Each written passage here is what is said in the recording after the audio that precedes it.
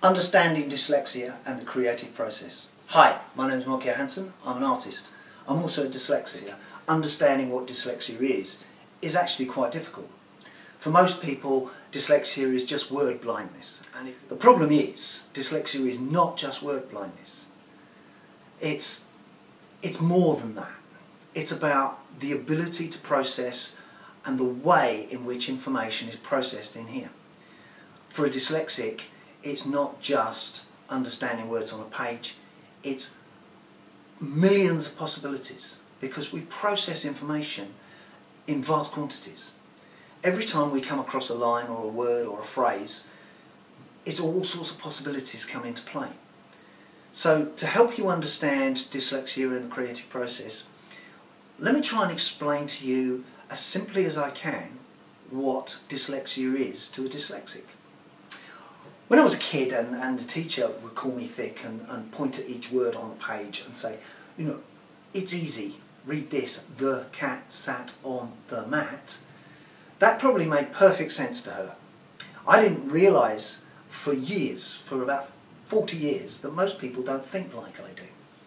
They don't process information in the same way. They simply see a phrase like the cat sat on a mat and accept that as a reality.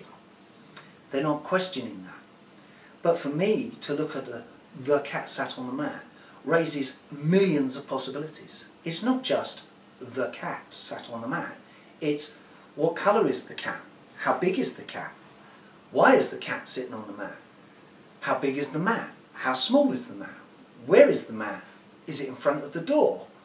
Why would the cat sit on the mat? Is it a tired cat? All of those questions suddenly get asked with the cat sat on the mat.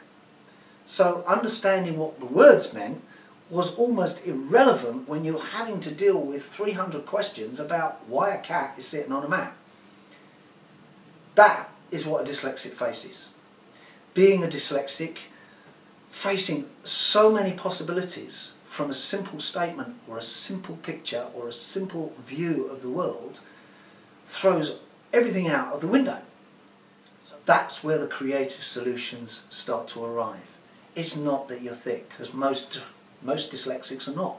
Most have above average intelligence. Most of them are more creative in their solutions than ordinary people, because we ask so many questions. Being creative means that I get to ask all of these questions about the simple line. I then get to make decisions about those that line before I've even started. So I know what I want to do, I know how I want to do it, and then I can allow myself to do it. And from a dyslexic's point of view, allowing yourself to make those decisions and have the courage to do it is the hard bit. Because you've got to sort out all the stuff going on inside your head and then make it a reality.